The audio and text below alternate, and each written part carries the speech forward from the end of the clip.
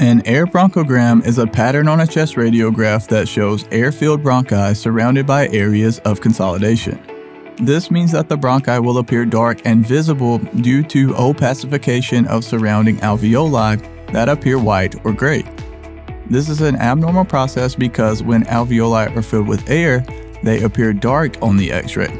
However, if they're full of fluid, this is what causes the airways to become more visible amongst the gray or white appearance from consolidation. And this is referred to as the air bronchogram sign.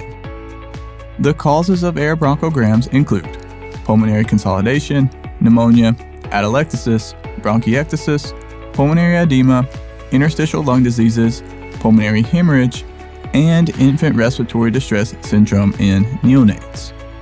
Keep in mind that air bronchograms may be present in many other conditions as well. These are just a few of the most common examples.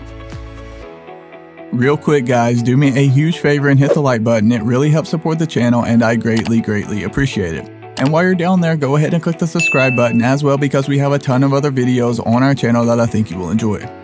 Just a quick reminder, we are not doctors, this video is for educational and informational purposes only. And if you want to dive deeper and learn more about this topic, you can go to respiratorytherapyzone.com where we have a ton of free study guides, practice questions, and other helpful resources. I'll drop links to everything you need right below this video down in the description. Thank you so much for watching all the way to the end. Have a blessed day, and as always, breathe easy, my friend.